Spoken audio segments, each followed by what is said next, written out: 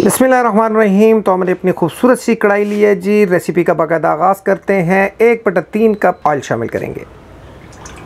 और दोस्तों, इसी दौरान हम कुछ खड़े मसाला जात शामिल करेंगे। तो हाफ़ टेबल स्पून वाइट ज़ीरे का इस्तेमाल करेंगे। एक टीस्पून वाइट साबित पेपर का इस्तेमाल होगा इस रेसिपी में। दारचीनी का एक टुकड़ा जाएगा जी। आधा फूल जवत्री का। चार दाने जी लौंग शामिल करेंगे इस रेसिपी में।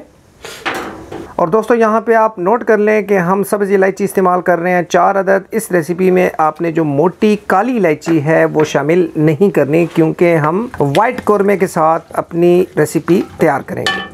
पाँच से दस सेकंड के लिए जमाल भाई ने खड़ा मसाला जात को थोड़ा सा चटकाया है, और अब इसी दौरान हमने आधा पाव प्याज ले लिए थे, उसका पेस्ट बना लिया था, अब वो इस मौके पे हम शामिल कर देते हैं। अब दोस्तों, यहाँ पे आपने अच्छे तरीके से भुनाई करनी है और प्याज का जो कच्चापन है, उसको आपने ज़ायल करना है। साथ साथ आप थोड़ा थोड़ा पानी भी शामिल कर सकते हैं अगर आपको लगे कि आपके प्याज जल रहे हैं। लेकिन यहाँ पे आपने मेहनत खूब से करनी है। तीन से चार मिनट हो चले हैं जी, प्याज का कच्चापन ख़त्म हो चला है तो अब जमाल भाई इस मौके पे अदरक लहसुन का पेस्ट शामिल करेंगे।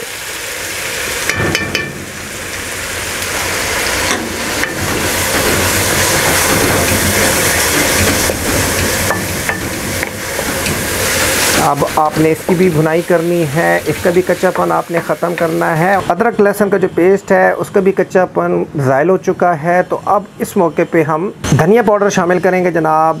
एक टेबल स्पून भर के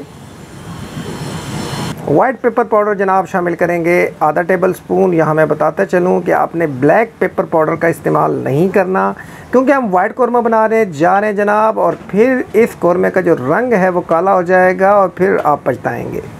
एक टीस्पून जनाब हम नमक का इस्तेमाल कर रहे हैं। आप बिल्कुल अपने मुआफ़िक नमक का इस्तेमाल कर सकते हैं। दोस्तों अल्टीमेट स्ट्रीट फ़ूड की जो गरम मसाले की रेसिपी है, आप बिल्कुल देख सकते हैं। एक टीस्पून हम गरम मसाला इस मौके पे शामिल करेंगे।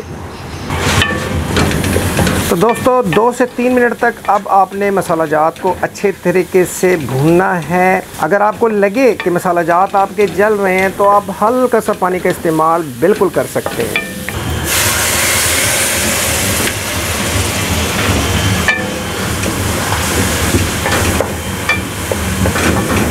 तो दोस्तों, इस मौके पे जमाल भाई एक पाव दही का इस्तेमाल करेंगे जी। दही को उन्होंने अच्छे तरीके से फेंट लिया है और वो साथ बता रहे हैं कि अगर आप दानेदार कौरमा बनाते हैं तो उसके अंदर जो दही है, उसको नहीं फेंटा जाता।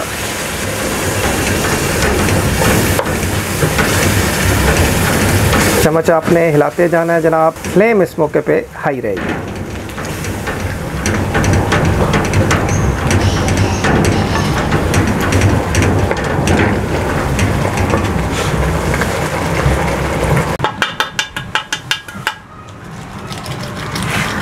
तो जमाल भाई ने जो अंडे थे, वो पहले से बॉयल करके रखे हुए थे तो अब वो उनको छील के बाहर निकाल रहे हैं। इस रेसिपी के लिए जनाब, हम आठ अदद अंडों का इस्तेमाल कर रहे हैं। दही का जो पानी है, वो खुश्क हो चला है और मसाले ने घी रिलीज़ कर दिया है। तो अब इस मौके पे आपने चार से पाँच अदद सब्ज़ मिर्चों का इस्तेमाल करना है। यहाँ पे आपने ध्यान रखना है कि आपने मिर्च को काटना नहीं है, यानी उसको चीरा नहीं लगाना।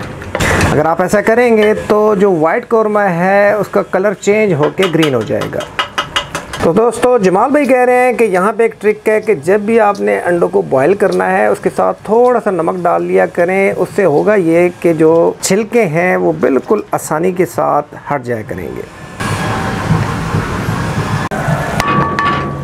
दो से तीन मिनट जनाब हमने इस मसाले को दम पे रखा हुआ था तो अब हम शामिल करेंगे जी काजू का पेस्ट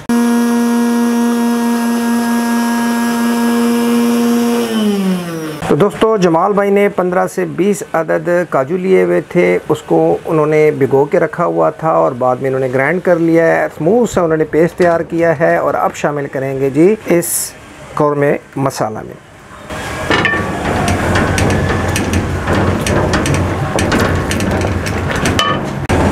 दोस्तों, जमाल भाई की तरफ़ से एक टिप है कि काजू आप बिल्कुल शुरू में भी शामिल कर सकते हैं, लेकिन उसका नुकसान ये होता है कि काजू के नीचे लगने का ख़तरा होता है, यानी जलने का ख़तरा होता है। यहाँ पे आप देख रहे होंगे, हमने फ्लेम बिल्कुल लो पे रखी हुई है। तो दोस्तों, इस मौके पे मिल्क पैक की हमने क्रीम ली हुई है जी। 100 मिलीलीटर के करीब हम इस रेसिपी में शामिल करेंगे। बेसिकली ये 200 मिलीलीटर का पैकेट होता है तो हम शामिल करने जा रहे हैं जनाब 100 मिलीलीटर।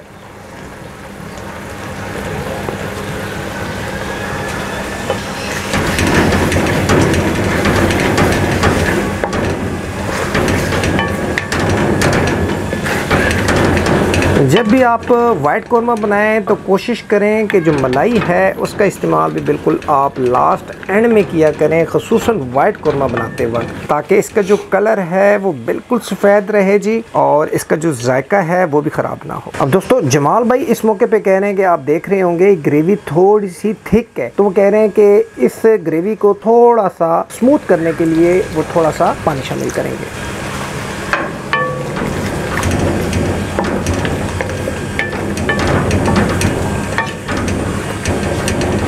तो दोस्तों, इस मौके पे जमाल भाई अब जो अंडे उन्होंने बॉयल करके रखे हुए थे, वो शामिल करेंगे। लेकिन शामिल करने से पहले आपने इस तरीके से हल्के हल्के से अंडों को कट लगा लेने हैं ताकि जो कुरमा है, वो थोड़ा बहुत अंडों के अंदर चला जाए। इस तरीके से आपने कट लगा लेने जी सारे अंडों को और बारी बारी एक एक करके इस तरीके से आपने शामिल करते चले जाना है जी।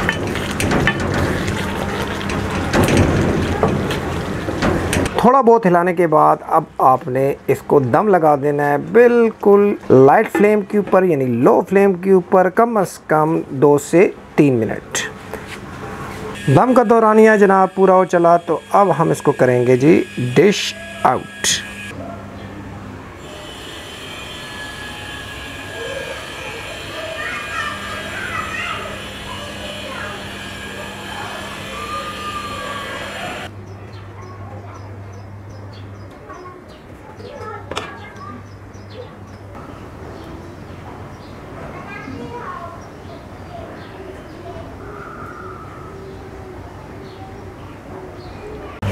तो जनाब, ये थी आज की हमारी एग वाइट कौरमे की रेसिपी अथेंटिक रेसिपी थी जनाब कमर्शियल ढाबा स्टाइल अगर आपको किसी चीज़ की समझ नहीं आई तो आप बिल्कुल कमेंट कर सकते हैं और आप ज़रूर से बताया करें कि आप हमारे चैनल को कौन सी कंट्री से देख रहे हैं। तो नेक्स्ट किसी और टॉपिक के साथ इन फिर हाजिर खिदमत होंगे। तो तब तक अपने होस्ट अपने भाई फरमान खान और जमाल भाई को इजाज़त दीजिए। अल्लाह हाफिज़।